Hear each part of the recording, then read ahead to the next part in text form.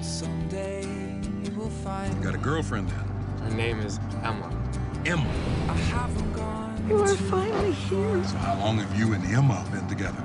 I guess I'd have to say forever, sir. I miss the way we were back then. We went to school until I was 10, and then I moved away. You didn't have to come home. I really wanted to come home. Emma? It's Will. Willie? Wow. Hi hard. It's been so long. Look at me. Look at us. You look beautiful. I can see it. In my dreams, I breathe her in, I inhale her. That we turned. You talk like following this woman something that makes sense, but it doesn't. We were young. Do you want to go somewhere? I'm meeting somebody Is he a friend of yours? who wants to marry me. Can one step away from you ever be anything for me but a step in the wrong direction? Okay, this is not the way the world works. You gotta stop this. We're not kids anymore.